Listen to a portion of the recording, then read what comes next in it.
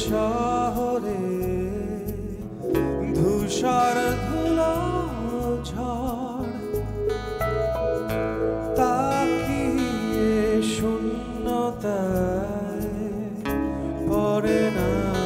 পল অবসন্ন